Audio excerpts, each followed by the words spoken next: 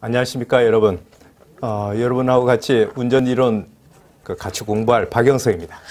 저는 서울교통공사에서 8년 동안 운전 이론을 강의했었습니다.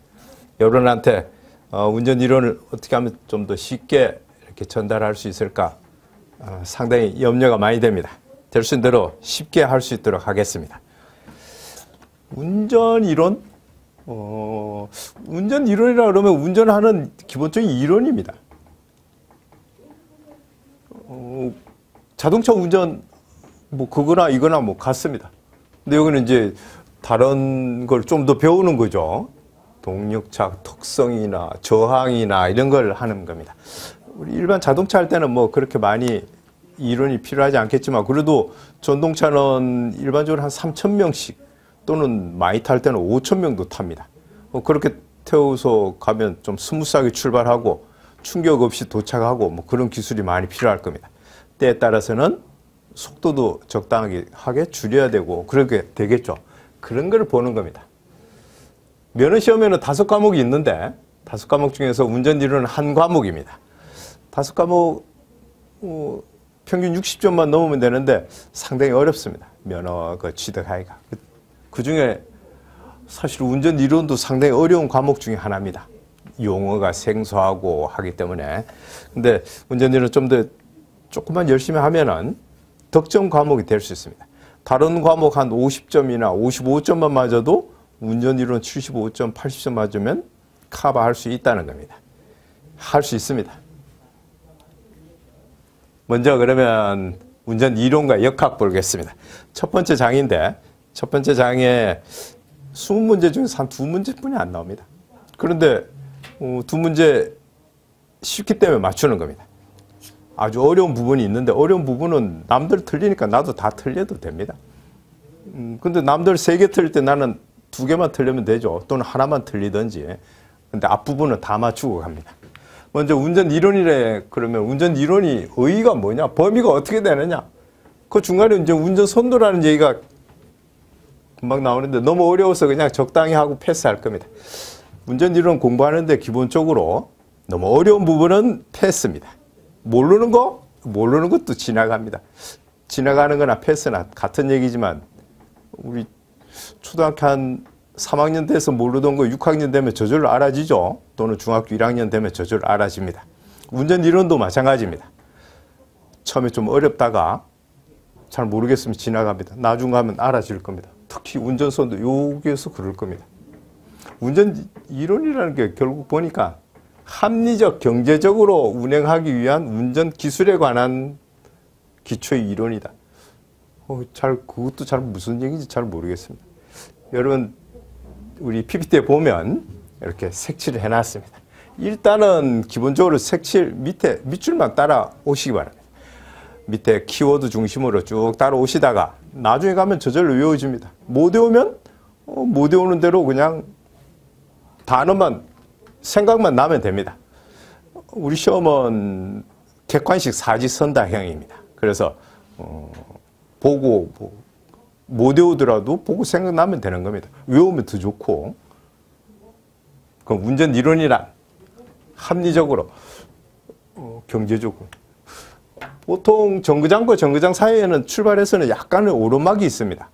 음, 배수 관계나 이런 것 때문에 그래서 그런 관계 또 커브길은 될 수 있는 대로 줄이고 음, 그렇게 해서 한번 그 역행 역행이라는 전기를 쓰는 건데 한번 역행을 한 상태에서는 될 수 있는 대로 타력으로 다음 정거장까지 가는 게 목표입니다.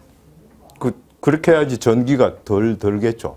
또 디젤 연료를 쓰는 그런 그 동력차는 디젤 연료를 적게 쓰겠죠. 음, 철도안전법에서 철도는 이렇다 그랬습니다. 철도 시설 뭐 운영 지원 체계 유기적으로 구성된 운송 체계 이렇게 얘기했습니다. 그건 철도 안전법에 가서 알아볼 거고 우리 측 교재에 보면 철도의 사명은 안전, 신속, 정확, 경제적으로 목적지까지 수송하는 거다. 아 그렇게 해야죠. 돈 받고 하는 거니까 돈 받고 하는 건데 안전하고 신속 빨리 해야죠. 신속하지 않고 안전하지 않으면 여러분들은 그냥 택시 타겠죠. 돈 좀 더 줘서 택시 타든지 아니면 버스 이용할 겁니다. 음, 그렇게 하는 거다. 열차? 아, 열차도 철도 안전법 우리 한 번씩 다 봤을 텐데 열차 분호 부여받고 뭐 한 거다. 열차 운행하는 거는 기관사 한 명만 하는 게 아니고 어, 역에서 표를 팔고 철길을 계속 고치고 전차선도 수리하고 여러 가지 모든 복합적인 요인에 합해가지고 만들어진 게 열차 운행이군요. 그래서 우리 철도 안, 안전법에서 본 것처럼 종합적이고 유기적으로 만들어진 상품이다. 열차 다니는 게, 열차 운행이 다니는 게 3분 간격, 5분 간격 이렇게 다니는 게 그냥 만들어진 게 아니라는 겁니다. 어, 무슨 말인지 잘 모르겠죠?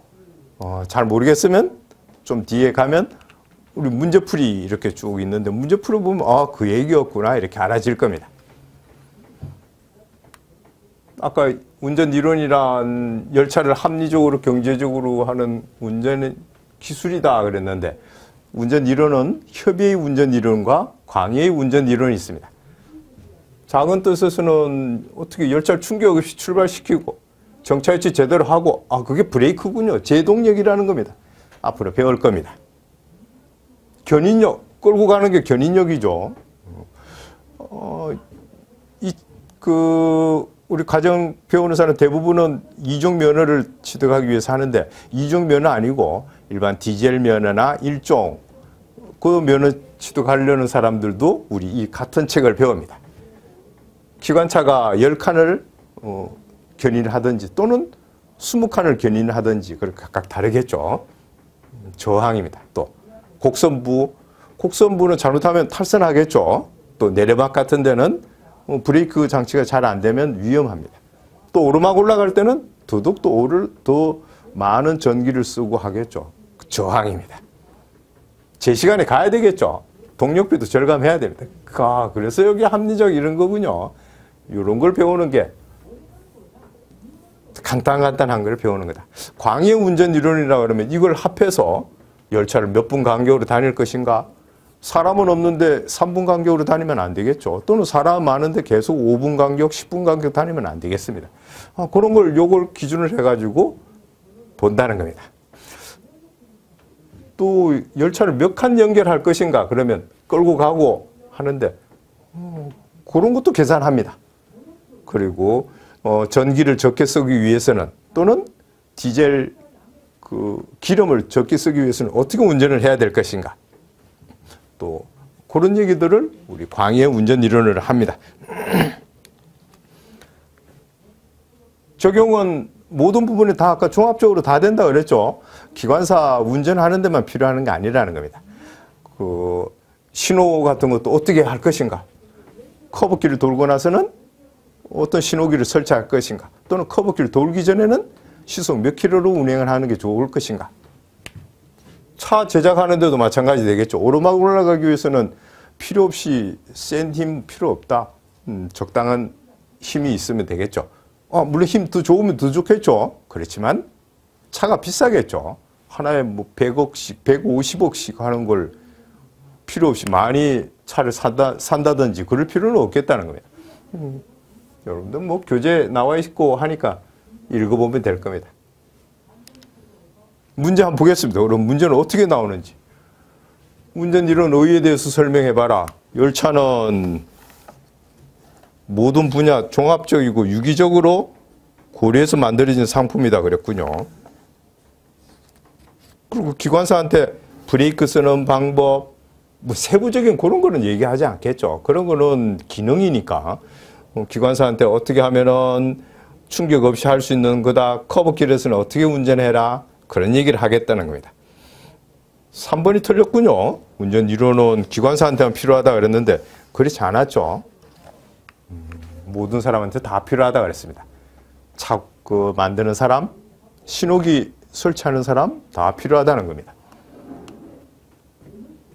철도 사명이 뭐냐, 뭐 안전 정확신소 외울 것까지는 없겠습니다. 시험 문제 나온 지는 한 5년 전에 한 문제 3년? 2년? 2년에 한 문제 정도씩 나옵니다. 그런데 읽고 이해하면 될 정도입니다. 뭐 외울 것 같은 건 없습니다. 충분히 이해할 수 있습니다. 잃고 이해할 정도. 그 중에 몇몇 개는 밑줄을 그어야 되겠죠. 밑줄을 긋고 단어 위주, 키워드 중심으로 해가지고 어, 그 정도는 보면 생각날 정도로 해야 될 겁니다. 운전이론 범위? 범위는 1단계, 2단계 이렇게 했는데 아까 협의의 운전이론, 광의 운전이론 그거하고 조금 비슷하죠. 조금 비슷하지만 다릅니다. 왜냐하면 물어볼 때 다르게 물어보니까 운전이론 1단계가 뭐냐, 2단계가 뭐냐 그렇게 물어보니까 먼저 쉬운 1단계를 외웁니다. 1단계 외웁니다. 그냥 견인력, 저항, 열차의 견인력, 열차의 저항 뭐 어쨌든 간에 이 글자만 들어가면 1단계에 속한다는 겁니다. 1단계 정도는 충분히 외우죠. 그리고 나서 2단계를 외웁니다. 2단계는 어, 외우도 뭐 키워드 중심으로 아까처럼 그렇게 쭉 하면 됩니다. 1단계를 외우면 2단계는 안 외워도 되겠죠. 시험 문제는 이 책에서만 나옵니다. 책에서만 나오기 때문에 다른 데서는 거의 갖고 와봐야 20문제 중에서 한 문제 갖고 울뚱말뚱합니다. 어, 갖고 울뚱말뚱한 거를 뭐그 외웁니까? 안 외웁니다. 안에서만 나온다. 그러면 다음 중 운전율은 1단계가 아닌 것은 2단계를 낼 겁니다. 다음 중 운전율은 2단계가 아닌 것은 1단계를 끌고 와서 낸다는 겁니다. 어, 그러면 뭐 이거 자세하게 하고 견인정수 어, 너무 어렵습니다. 음, 너무 어려운 거는 나중에 한다 그랬어 썼으니까 먼저 이걸 다 외우고 나중에 한다는 겁니다. 운전이론 1단계 견인 요건은 끄는 힘, 열차를 못 가게 하는 힘, 브레이크. 못 가게 하는 힘은 뭐 공기 저항도 있고 여러 가지 오르막도 있고 많이 있을 겁니다. 어쨌든 못 가게 하는 힘이다. 브레이크 하는 힘이다. 1단계다. 2단계는 사실 2단계는 운전 계획에 관한 업무와 운전 업무 두 개를 나누어집니다. 교재 보겠습니다. 교재 보면 가 운전 계획에 관한 이론 옆에 페이지 보면 나 동력차 운전 업무에 관한 이론 아 운전이론 2단계는 두 개가 있군요. 가와 나가 있다는 겁니다. 사지선다형이라고 그랬으니까 세 개짜리는 거의 뭐 다 봐야 됩니다. 또는 네 개짜리는. 그래서 어떻게 물어보느냐 하면 다음 중 운전에는 2단계 중에서 운전 계획에 관한 이론이 아닌 것은 뭐 내겠습니까? 1단계 내든지 요거 내든지 하겠죠. 운전 업무를 내든지 그렇게 두 개 중에 하나 내겠다는 거예요. 근데 이쪽 내면 좀 금방 발각이 되니까 요거 내겠죠. 이쪽 낼 것 같습니다. 어, 이렇게, 이렇게 막 어렵게 나왔습니다. 어렵게 나온 거 한번 보기나 합시다. 뭔지. 1번에 운전 계획에 관한 이론 중에서 1번이 동력차 견인정수 그랬는데 견인정수라 그러면 상당히 어려운 부분입니다. 아주 뒷부분에 나오는데 차를 몇, 차, 몇 칸을 끌고 갈 것인가 이 얘기입니다. 음, 저기 보니까 객화차의 양수를 어떻게 할 것인가 그 얘기입니다. 7칸 끌고 갈 것인가 10칸 끌고 갈 것인가 그 얘기하는 게 견인정수라는 겁니다. 숫자 견인정수라는 거예요. 근데 끄는 힘과 저항 안 끌려가려는 하는 힘의 관계라는 겁니다. 밑줄 그어 놓습니다. 견인력과 열차 저항의 관계이다. 딸려오지 않으려는 겁니다. 저항은 오르막 저항, 공기 저항, 커브 저항 뭐 여러 가지 많이 있는데 그래서 서울에서 대전까지 가는데 열칸을 끌고 제 시간에 갈 것인가? 빨리 갈 것인가? 또는 스무 칸을 끌고 천천히 어, 제 시간에 갈 것인가? 그런 얘기하는 겁니다. 열칸을 끌고 갈 것인가? 스무 칸을 끌고 갈 것인가? 그 얘기가 견인 정수라는 겁니다.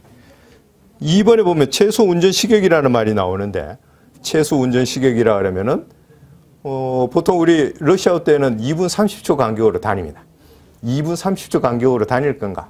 놀말 시간에 6분 간격으로 다닐 것인가? 5분 간격으로 다닐 것인가? 그 얘기하는 게 운전 시격입니다. 그 운전 시격 중에서 제일 촘촘하게 다니는 게 최소 운전 시격이겠죠.